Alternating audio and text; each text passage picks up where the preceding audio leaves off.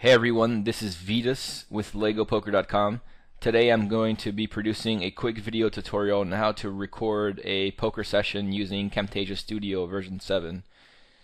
So, um, the first thing you're going to want to do is have your poker tables set up and in place uh, with no overlap before you even start recording so you don't have to be fumbling around with uh, the recording and adjusting the you know the settings while you're recording.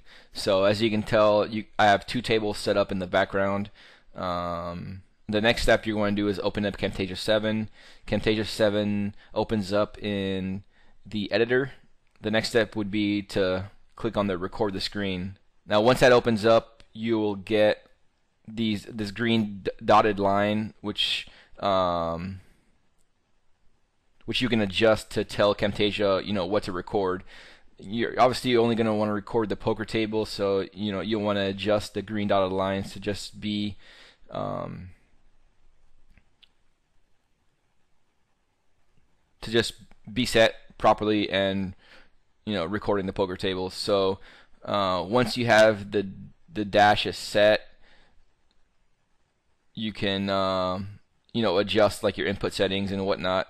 Uh, so here, if you have multiple audio inputs, you're going to want to set the correct audio device, and then you're going to want to uncheck the record system audio since you're not going to want to be recording any of the system audio.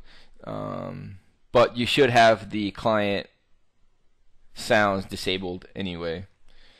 So to begin recording, you can use the F9 hotkey. So you'll get the quick countdown and then you'll start recording. So now we can begin our session and record the live play while adding the audio at the same time. Uh, to stop the session, you can use, or to stop the recording, I'm sorry, you use the F10 hotkey. So we hit F10.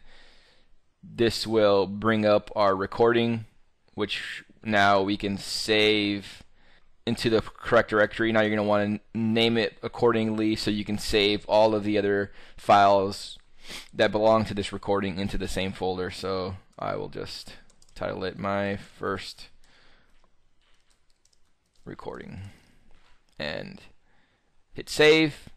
And once it's saved, you can open it up in the Camtasia editor to edit and produce it. Uh, I will make another video showing you guys how to edit and produce video.